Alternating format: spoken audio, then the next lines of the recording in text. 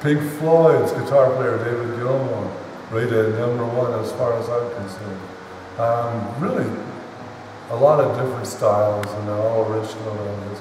This one at Pink Floyd was in 1977 at the Coliseum. I've seen them in 71, 72, 74, 75, 77 at this point, and I saw them two more times after that. Very inventive.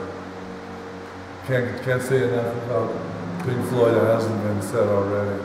I would go, I would go see them anytime. Now you only see them in very large places like McNichols Arena, or where the Broncos play music, or play, you know, their sports and all that stuff. He still draws a huge crowd.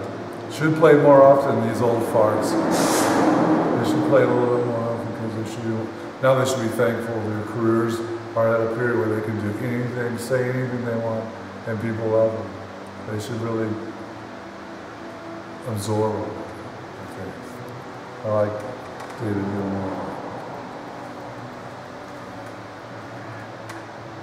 Feared it.